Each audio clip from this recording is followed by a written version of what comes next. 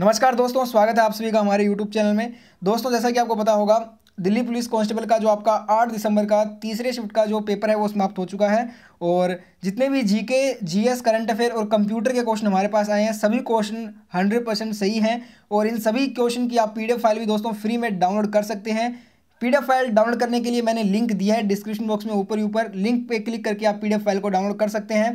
और दोस्तों, वीडियो में आगे बढ़ूँ, उससे पहले आपको बता दूँ, इंडिया के नंबर वन मैथ के टीचर अभिनय शर्मा आपके लिए फ्री में दो मॉक टेस्ट लेकर आए हैं, जिसमें टोटल चार सेट हैं और हर सेट में पच्चीस क्वेश्चन हैं। जिसका मॉक टेस्ट वन होगा आपका तेरह दिसंबर को और मॉक टेस्ट टू होगा इसका सत्ताईस दिसंबर को। इसके लिए दोस्तों, आपको अन अकेडमी का जो है ना ऐप वो डाउनलोड करना है और मेरा जो कोड है ना ई एस पी टेन ये कोड आपको यूज़ करना है। अगर आप फ़र्स्ट टाइम अन अकेडमी यूज़ कर रहे हैं तो जैसे ही आप मेरा ये code E S P ten use करोगे तो आपको जो है ना, ये फ्री में इनरोल हो जाएगा। और अगर आप प्लस सब्सक्रिप्शन में मेरा कोड यूज़ करते हैं तो आपको दस परसेंट का डिस्काउंट भी मिल जाएगा। तो मैंने लिंक दिया है, जाके इनरोल ज़रूर कीजिए। तो चलिए फ्रेंड्स क्वेश्चन से स्टार्ट करते हैं सीधा। देखिए दोस्तों, आज जो है ना, तीसरे शिफ्ट में काफ़ी क्वेश्चन जो है वो खेल से पूछे गए। लगभग बात करते हैं तो चार से छः क्वेश्चन आपके ऐसे थे जो खेल से आए थे। और लगातार मैं आपको कह रहा हूँ स्पोर्ट्स से बहुत क्वेश्चन दिल्ली पुलिस पूछ रहा है। आज एक क्वेश्चन पूछा गया खिलाड़ी से कि स्टूअर्ट ब्रॉड जो है, ये किस देश के क्रिकेट के खिलाड़ी हैं? तो फ्रेंड्स स्टूअर्ट ब्रॉड अगर बात करें इनकी तो ये इंग्लैंड टीम के खिलाड़ी हैं। और ये जो है ना राइट हैंडेड फास्ट बॉलर हैं इंग्लैंड के। और इन्होंने दोस्तों वर्ष 2020 में टेस्ट क्रिकेट में 500 विकेट भी पूरे किए हैं, ये भी ध्यान रखिएगा। आप एक क्वेश्चन पूछा गया था, रोस्टन चेस, ये किस देश के क्रिकेट के खिलाड़ी हैं? दोस्तों, रोस्टन चेस की बात करते हैं तो ये वेस्ट इंडीज़ के खिलाड़ी हैं और ये ऑफ़ स्पिनर बॉलर हैं और साथ में ये राइट हैंडेड बैट्समैन भी हैं। तो ये दो क्रिकेटरों के नाम पूछे गए थे स्टुअर्ट ब्रोड जो कि इंग्लैंड के हैं और रोस्टन चेस जो कि वेस्ट इंडीज़ के हैं। एक क्वेश्चन आपसे पूछा था कि रजिया सुल्तान दिल्ली सल्तनत की प्रथम महिला शासिका कब बनी थी? दोस्तों, अगर बात करें रजिया सुल्तान की तो इनकी जो शासन की अवधि थी, वो 1236 से लेकर 1240 तक थी और इनका जो राज्याभिषेक हुआ था, वो हुआ था 10 नवंबर 1236 को। और दोस्तों, रजिया सुल्तान की कब्र भी पूछ ली जाती है एग्ज़ाम में तो वो ध्यान रखिएगा, केथल में है, जो कि हरियाणा का एक जिला है। ठीक है दोस्तों?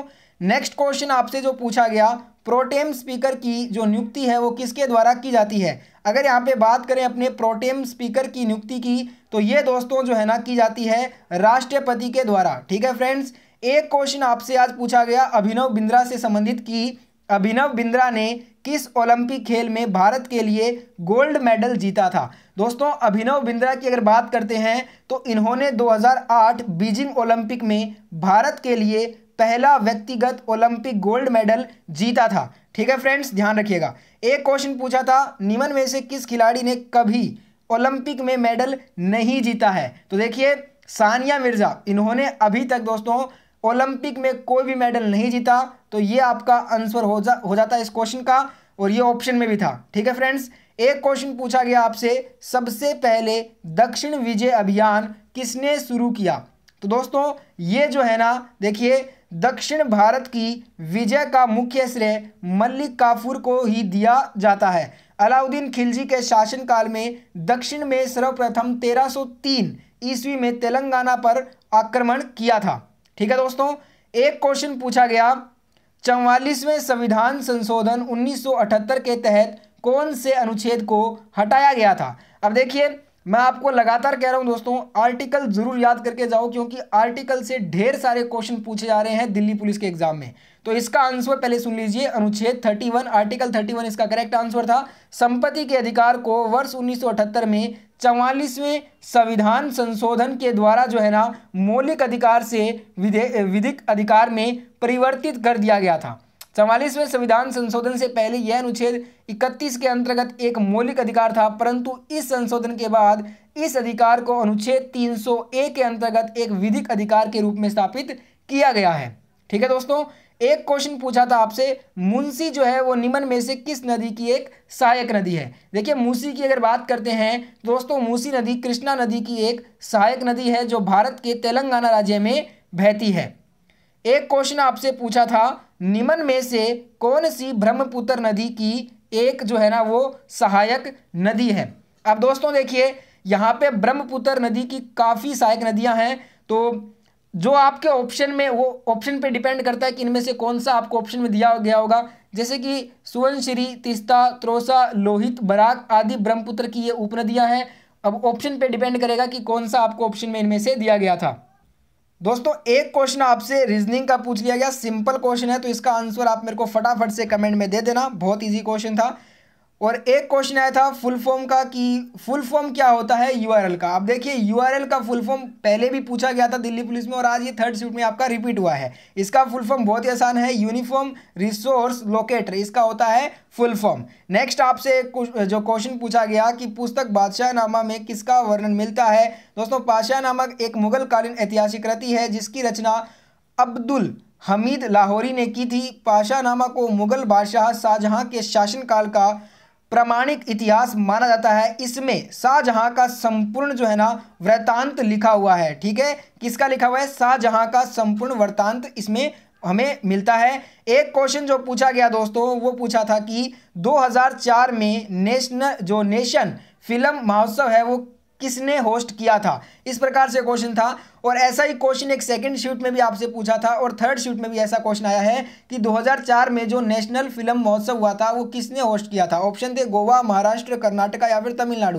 तो दोस्तों इजी क्वेश्चन इसका आंसर आपको करना था गोवा। ठीक है? क्षेत्रफल की दृष्टि से सबसे छोटा राज्य इसको अपने बोलते हैं। एक क्वेश्चन आया था कि विश्व प्रतिस्पर्धा सूचकांक 2020 में भारत की रैंक बताओ। अब देखिए यहाँ पे हमारे कैंडिडेट्स ने कहा कि 2020 का पूछा था। अगर 2000 अगर 2020 का अगर पूछा है आपसे तो इसका यहाँ पे आंसर था, बेहतरवा स्थान है विश्व प्रतिस्पर्धा सूचकांक 2020 में। अगर 2019 का पूछ लिया जाए तो आप कहोगे तिरालीसवां। नेक्स्ट एक क्वेश्चन आया था, नाथप्पा झाकड़ी जल विद्युत परियोजना कहाँ पर स्थित है? देखिए, अगर बात करते हैं यहाँ पे नाथप्पा झाकड़ी जल विद्युत परियोजना की तो ये आपका दोस्तों हिमाचल प्रदेश में जो है ना, वो स्थित है।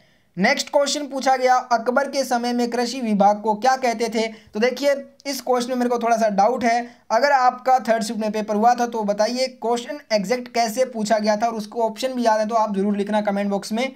नेक्स्ट एक क्वेश्चन आया था दोस्तों कंप्यूटर से रिलेटेड ये क्वेश्चन था। एम एस में जूम किस ऑप्शन में आता है? अब देखिए, हमारे पास जो है ना एग्जैक्ट ऑप्शन नहीं है, पर देखिए, मैं थोड़ा डिटेल में इसको आपको बता देता हूँ। देखिए स्टेटस जो बार होता है status bar M S Excel में टेक्स्ट एरिया के बिल्कुल नीचे होती है। ठीक है दोस्तों? इस बार में जो है ना, जूम लेवल नामक टूल होता है, जिसके सहायता से सीट को जूम इन तथा जूम आउट अपने कर सकते हैं। इसके अलावा भी बहुत से टूल इस बार में होते हैं, जैसे कि language, word count, page number आदि। तो ठीक है दोस्तों? तो इस प्रकार से आपको इस क्वेश्चन का आंसर करना था। एक क्वेश्चन जो पूछा गया, इनमें से कौन सा डाटा प्रेजेंटेशन को बनाता है? अब ये क्वेश्चन थोड़ा सा कन्फ्यूजिंग है क्योंकि देखिए ऑप्शन के अकॉर्डिंग इसमें आंसर नहीं हो सकता। M S office M S word M S Excel या फिर वर्ड पैड तो दोस्तों, जो डाटा प्रेजेंटेशन बनाता है, वो हमेशा पावर पॉइंट बनाता है। तो इस क्वेश्चन का थोड़ा सा मेरे को डाउट है। अगर आपको आंसर आता है तो कमेंट ज़रूर करना इस क्वेश्चन का। नेक्स्ट एक क्वेश्चन जो पूछा था एम एस एक्सएल में नई फ़ाइल को खोलने की शॉर्टकट की कौन सी होती है? अब देखिए कंप्यूटर से लगातार ढेर सारी शॉर्टकट की अभी तक दिल्ली पुलिस एग्ज़ाम में आ चुकी है और एक और देखने को मिली, नई फ़ाइल खोलने के लिए एम एस एक्सएल में कंट्रोल प्लस एन जो है ना, अपने दबाते हैं। नेक्स्ट एक क्वेश्चन पूछा था आपसे एम एस एक्सएल में सेल एडिट कैसे करेंगे? देखिए, अगर हमें एम एस एक्सएल में सेल को एडिट करना है तो सेल बी थ्री में क्लिक करके माउस बटन को दबा लीजिए और उसे दबाए रखकर खींचते हुए सेल को जो है ना, वो डी फाइव तक ले जाकर छोड़ दीजिए। अब या तो एडिट मेनू का कट आदेश दीजिए या स्टैंडर्ड टूल बार में कट बटन जिस पर कुंजी का छपा हो, को क्लिक कीजिए या कंट्रोल के साथ एक्स आप उसको दबाइए। ठीक है दोस्तों? नेक्स्ट एक क्वेश्चन आपसे पूछा था ईमेल में क्या नहीं हो सकता? इनमें से क्या नहीं हो सकता? तो इस प्रकार से ऑप्शन थे। तो ये जो ऑप्शन दे रखे हैं, इसके अकॉर्डिंग अपने अगर चलते हैं तो ये वाला जो ऑप्शन है ऑप्शन नंबर टू ये आपका आंसर हो जाएगा। क्योंकि ईमेल में जो है ना डॉलर के सिंबल का कोई भी यूज़ अपने नहीं करते हैं। ठीक है दोस्तों?